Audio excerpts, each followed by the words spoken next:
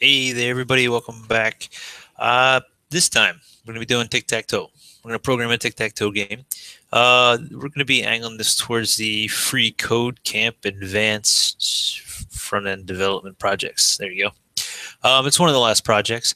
Uh, I'm going to do this one a little different. Um, it, you can modify this to play against another player. How I'm going to do it is to actually play against a uh, computer. Not a very smart computer but just a computer.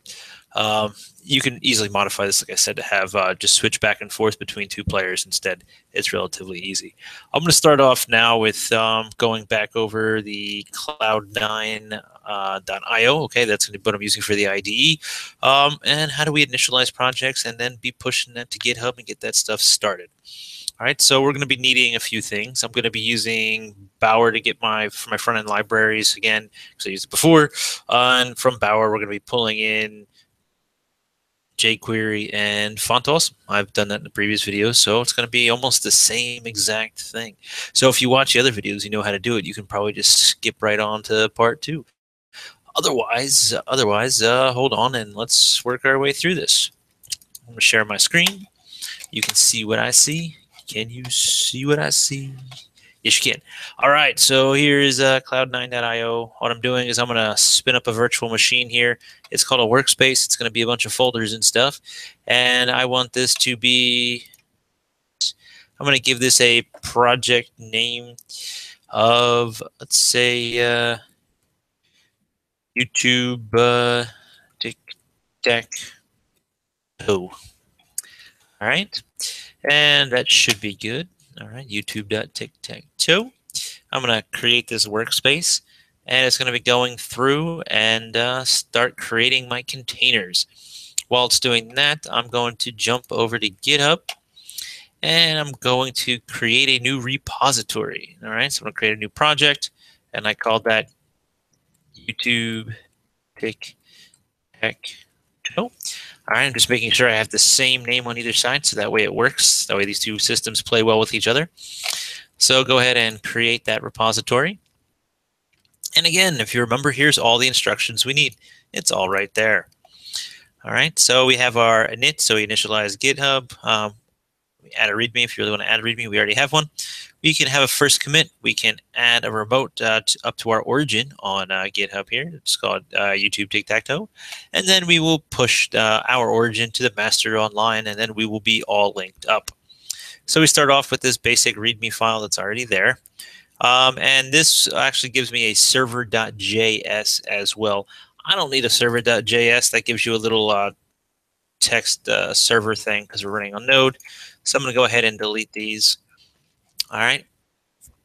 And what I'm going to do is uh, I'm going to start off uh, with a git init. And in case you don't know, this is my terminal window. All right. And so here's my terminal window.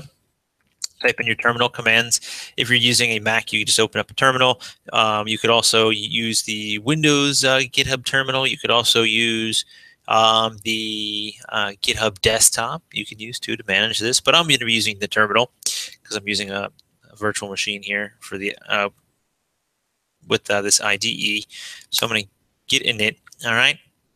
So now I have initialized GitHub. All that means is I've got myself a little .git folder. That's and you have stuff inside of our .git folder. All of this. All right. So we have that. Um, what I want to do is I want to make sure that this links up well and plays well with uh, my stuff up here. So it says here, uh, make sure we add a comment. So Control C, Control V. All right. So let's see here. All right. Oops. Let's try add space dot. There we go. And then just hitting up. Now I'm going to git uh, commit, tac M for message. There we go. So, so we created all this. All right, and then after we go through and we uh, add, then we commit, I'm going to go ahead and do the next line, Control C, Control V. And then finally, I'm to push it, C, V. And it's going to ask me for my username. username. And then for my password. And ta-da! Now if I go back over here, I should have a README with just the Cloud9. All right. This is about their server and their Node.js server and all that. Okay. So that's all set up and we know that it works. So now at any time after I'm done adding files, um, I think in the last videos, I'm not sure if I showed you, if I remember to go back and show you how to actually save the stuff back up to uh, GitHub, how to push it. All you got to do is add um, commit tac m for a message with some sort of message and then git push. But first, let's go ahead and since we have Node installed on this machine again, all right, we can just npm um, install uh, Bower save. All right. And so notice that that I is just uh, short for install, and it's going to take a second as it's going to download a bunch of stuff from Bower and give us a, should give us a, uh, let's see, Bower folder. There we go. So now I have Bower in my node modules. And notice there's a bunch of other stuff in here for async and because I went to a, um, a node uh, setup here instead of just a basic HTML. Either one will work. You'll just have less stuff in your node modules, that's all. Um, and let's not forget that before we can use Bower, we have to Bower init. All right, and that gives me a bower.json uh, file. And it's going to ask me for names and all this stuff, so it doesn't really matter remember you can just kind of click through. There you go. And just hitting enter uh, confirms yes for everything. And you get a bower.json file, which is exactly what we want. And it tells me where I'm at. And you can see it just has some generic, you know, thing here. All right, so good enough. Now, Bower. What do I want to use? Well, I want to use Bootstrap. All right, so I want to Bower um, Bower install Bootstrap.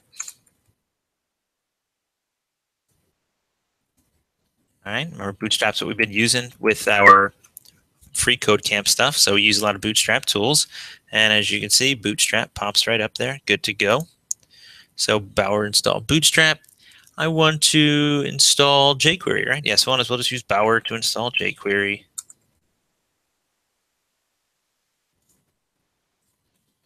And remember to dash dash saves. And then I want to Bower install font awesome right? And font awesome I'm going to actually use for my X's and my O's because they actually have little X's and O's there, uh, which makes it easy for me to use. So I'm going to Bower install font awesome. There we go. So all of our dependencies are set up and it was all handled by Bower. Um, so everything should work. And it did work. So I know the Bootstrap is on 3.3.7 and I know that happens to be the working one. So I know this is going to all work well and everything's going to play well with each other, just like I've done before. Now, take a note that I'm in the workspace here, which is initially just our home directory. So what I want to do is I'm going to start off with some terminal commands. Um, I'm going to touch, all right, and if you touch a file that's not there, oops, back in my terminal. If you touch a file that not that's not there, remember it will create it. So I want to touch an index.html file. All right, so I'm going to touch that. And we should get an index.html right up here, which we do. Uh, the next command we're going to do is to uh, make a directory. So mkdir for make directory. And I want a CSS directory and I want a JavaScript directory. Notice how I just leave a space in between those two.